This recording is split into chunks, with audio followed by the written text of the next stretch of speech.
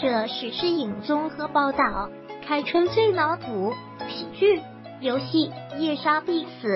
不走过往好莱坞喜剧的拍摄路线。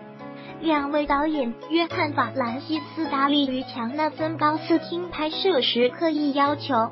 两位主角杰森·贝特曼与瑞秋·麦登斯不要把这部电影当做喜剧片来拍摄。而是认真的做推理惊悚片来演。乔纳森·高斯汀表示：“我们尝试颠覆惊悚片给观众的印象。我们和杰森·瑞秋分工合作，在剧情上，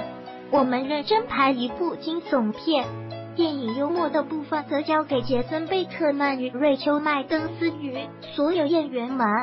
他们的默契与浑然天成的喜剧效果。”为这部原本就充满转折与惊喜的电影增添许多幽默与笑点。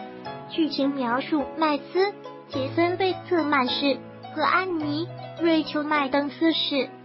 这对夫妻俩，每周都会参加一场属于伴侣的游戏夜。没想到游戏内容越玩越大，一场神秘的谋杀派对找来了冒充的暴徒与假的 FBI 探员。六名玩家一路破解到最后，才发现这次的游戏的内容不单纯，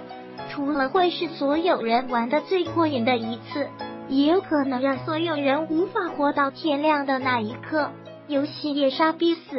二月二十七日在台上映，杰森·贝特曼、左云跟瑞秋·麦登斯在游戏《夜杀必死》饰演夫妻。华纳提供杰森·贝特曼、佐于跟瑞秋·麦登斯在游戏《夜杀必死》参加游戏一夜剧场展开。华纳提供游戏《夜杀必死》最新预告。